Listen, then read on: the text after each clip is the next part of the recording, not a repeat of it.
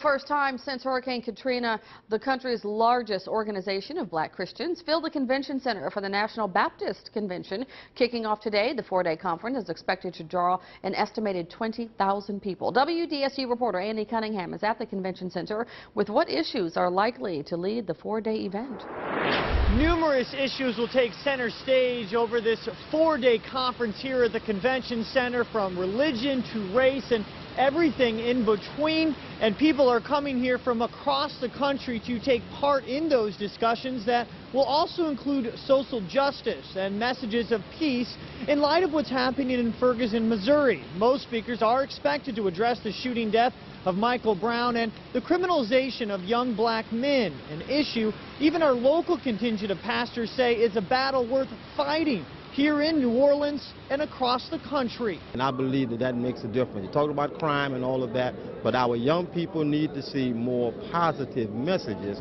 coming out of the media and elsewhere, and then I believe they will be better.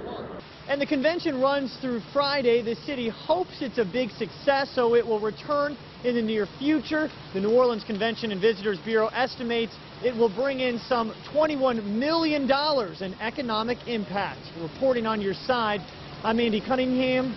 Back to you.